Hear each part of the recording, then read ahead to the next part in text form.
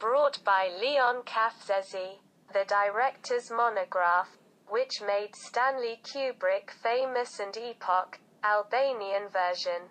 Kubrick, the famous American director comes through a monograph in Albanian.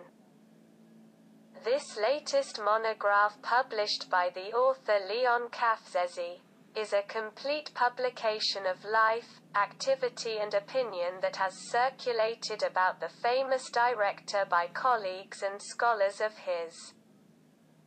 Stanley Kubrick was born 73 years ago in New York City. He was the first director after World War II to make a name for himself and his era. Critics, who began to appreciate his artistic, aesthetic claims, new vision of means of expression, a kind of deep social irony, but still stood out to a subtle observer of cinematic art. Stanley Kubrick made his first film Fear and Desire.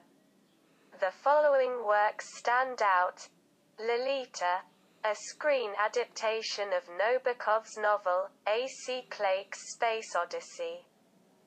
Burgess's Mechanical Orange, giving a new meaning and vision. He knows how to enlighten art with a rare artistic professionalism specializing in his cultural world in the relationship between cinema and pathology. Kubrick often refers to although not quite openly Sigmund Freud in his film gallery, Moves a Living World.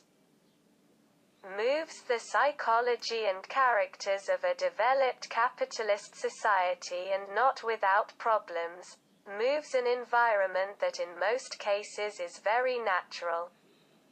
The director of the film, Eyes Wide Shut, now no longer alive, has remained unforgettable for his cinematic work, but also in the memories of colleagues and actors who worked with him.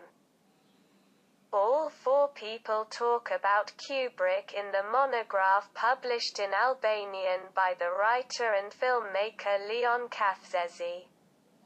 While in this book there are many opinions of Kubrick critics.